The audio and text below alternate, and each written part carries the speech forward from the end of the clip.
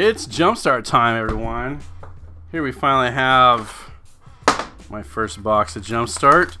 And right out of the gate, I got 10 packs for a patron by the name of Just Insane. And we're going to see what we can get for Justin here. We are going to delve into this. Mix and match for mix, maximum mayhem. A lot of alliteration there. Very fun stuff. Okay. We are getting the first 10 packs. One, two, three, four, five, six, seven, eight, nine, ten. Ten packs.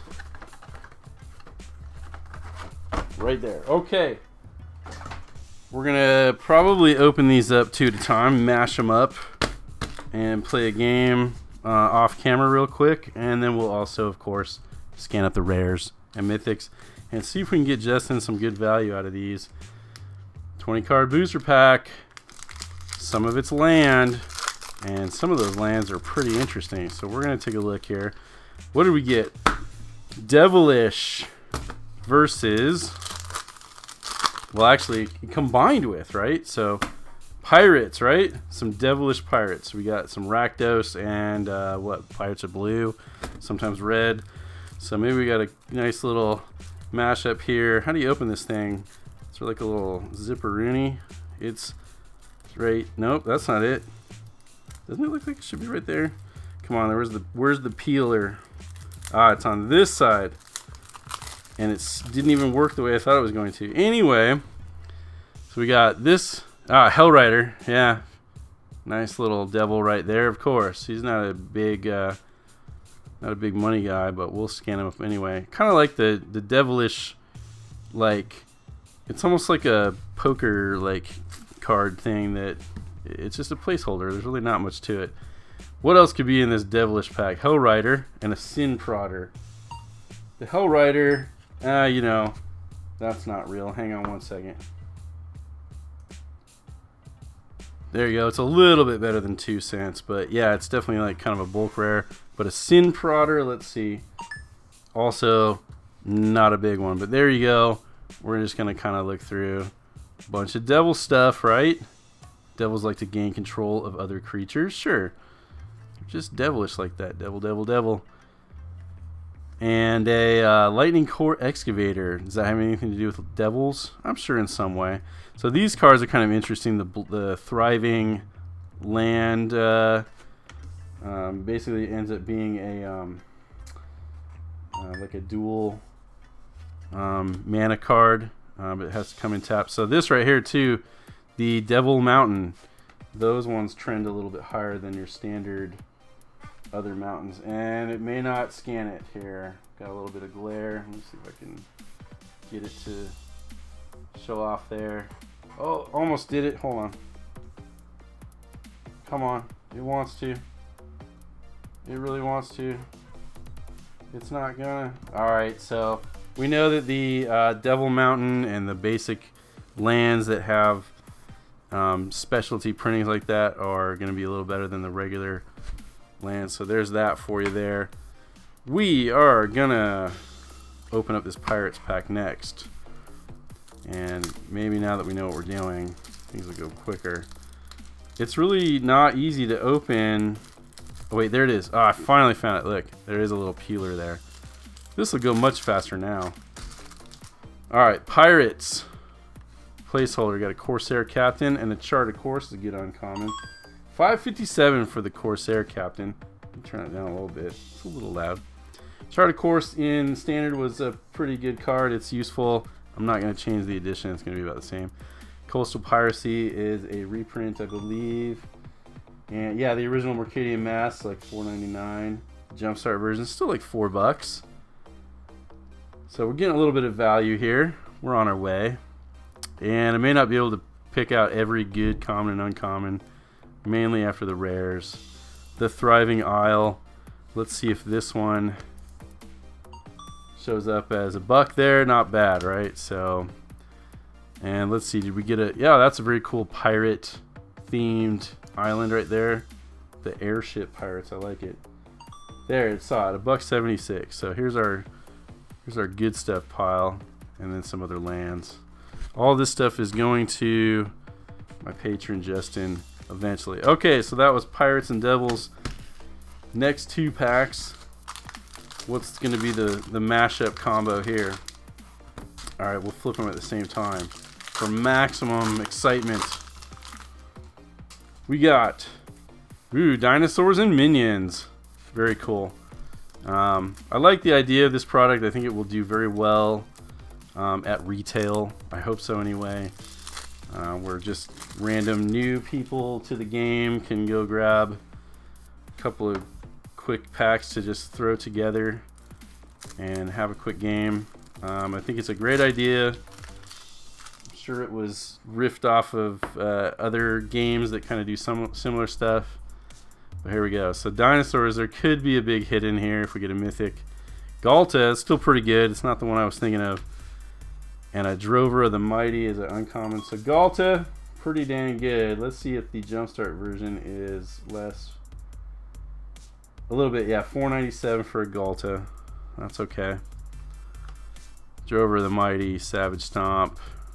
Cultivate, great, uncommon which has been now reprinted a bunch of times in the last like three minutes it seems like. Colossal Dreadmaw, that's a classic right there. Thriving Grove, let's see if the Thrive lands are pretty cool. They're going to be uh, pretty good for Pauper, I imagine. A Dilophosaur. And did we get a Dinosaur Forest? We certainly did.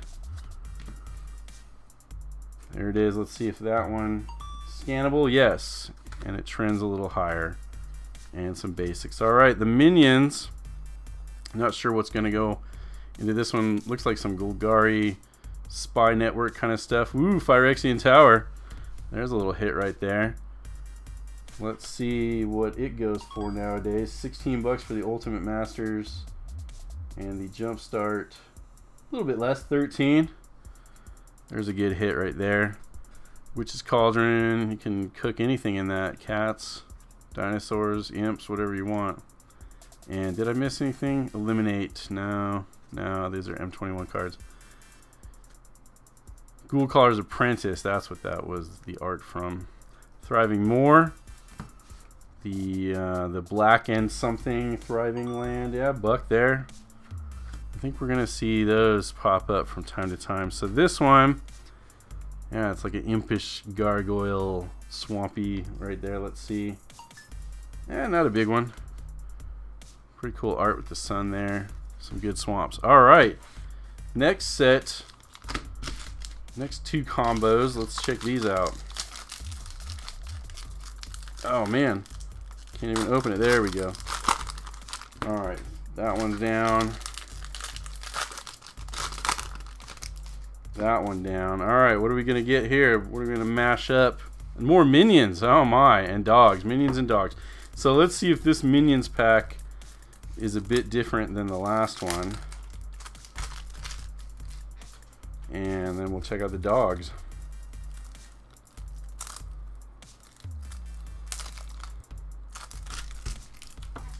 Okay. Another minion. Ooh, there we go. A legendary warlock, Kels, Fight Fixer. Menace, whenever you sacrifice a creature, you may pay Dimir. If you do, draw a card. You can sacrifice a creature to pay one, and it gets indestructible until end of turns. Nice little um, aristocrat's enabler, and another witch's cauldron. So this Kel's pretty good, 845 to go with your Phyrexian Tower there. Nice that you didn't get exactly the same pack there. Um, some little differences there in the uncommon slot and in the common. So pretty pretty decent. Little differences there. The Thriving Moor we had seen before. And another one of these Swampers, which was under 90 cents or so. There you go. All right, let's check out these doggy boys.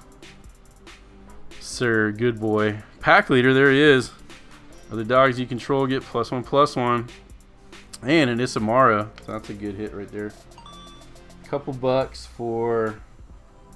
This one was reprinted from uh, 2021. I believe it actually just uses the 2021 um, nomenclature since it's not a jump start reprint like this one.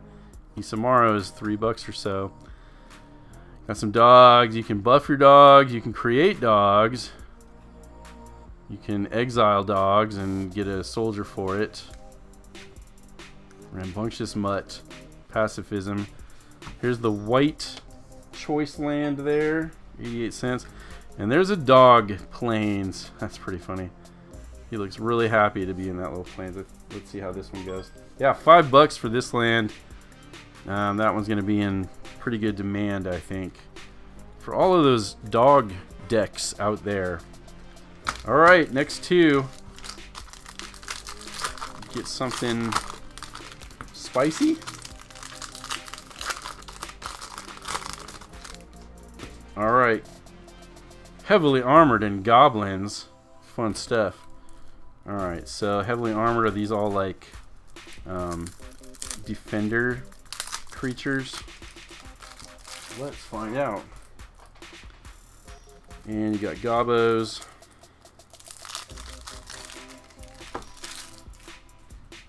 Heavily armored. It says, oh, it says it's white down there, so that's kind of nice. It tells you Good. Duelist's Heritage. Remember, one or, one or more creatures attack. You may have target attacking creature gain double strike until end of turn. Solid. High Sentinels of the Aven. So this is a reprint from Commander. Jumpstart version, a little bit less, couple bucks there.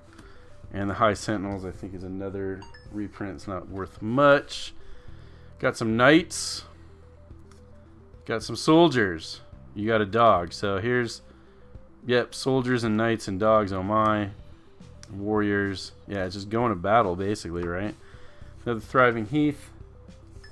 Bink. Got the Acolyte. And then this is, uh, yeah, okay, it's like a shield, mirror shield. Let's see if this one rates a little bit more. Not so much. The dog one is more desirable, I think. All right, goblins. So wanted Goblin Mountain out of this. Maybe we'll get some a legendary goblin. Let's see. Goblin Chieftain. Alright, solid. Gotta have the Goblin Lords. Other Goblin creatures you control have one one half haste. And a Goblin Goon. The Chieftain has been reprinted a few times. Goblin Goon is a Goblin Mutant. 6-6. Can't attack unless you control more creatures than defending player. That's doable in a Goblin's deck. Can't block unless you control more creatures than attacking than attacking player. Yeah. I think that's got some uses. Wow, that's it?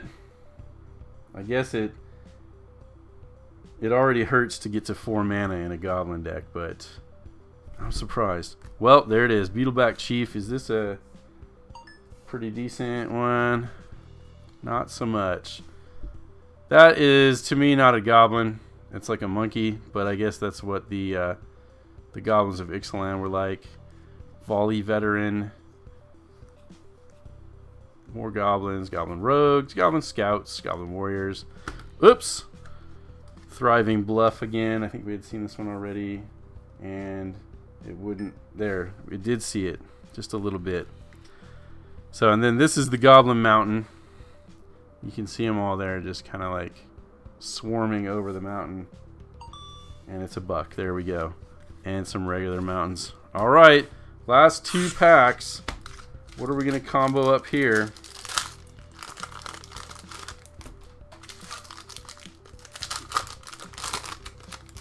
Alright, Justin, here we go. Archaeology and Doctor. Let's see. Archaeology, we're going to get some artifacts. And Doctor, we're going to get some healing, I imagine. Alright. It's a lot of packaging. It's not terrible, but it's a little extra. Archaeology. A Sharding Sphinx. And a Vedalken Archmage. 45 cents. And a Buried Ruin. That's a good land. Vedalken Archmage. 689. Whenever you cast an artifact spell, draw a card. That's decent. And a Buried Ruin. And a Hedron Archive. So we got some nice... Um, artifact related stuff here. Juggernaut and a Meteor Golem, yeah, all stuff that's uh, pretty useful to artifacts. Thirst for Knowledge, not a whole lot. Two Archaeomenders in a row right there, a little bit of duplication. Not seeing any misprints. I'd heard that this uh, set was full of misprints, but didn't really seem to get any here. And then the uh, must be the archaeology island right there. Let's see how this one goes. Just 90 cents. And a little bit there. Okay. The Doctor on the mend. Speaker of the Heavens from M21 for the rare. Griffin Aerie, Light of Promise. A Brightmare. This seems like a newish kind of card. I think this one trends a little bit up. Eh, 70 cents or so. Face Fetter is a good card. somewhat. Unicorns. Thriving Heath. And, yep, there we go. And then the Leyline planes, pretty cool there. Alright, alright, there we go. Alright, that is it for 10 packs for my patron Justin. Thank you very much. It was fun. And they should be fun to play with. Oop, there's plastic there. So anyway, thanks for watching. Tragic MTG saying catch you later.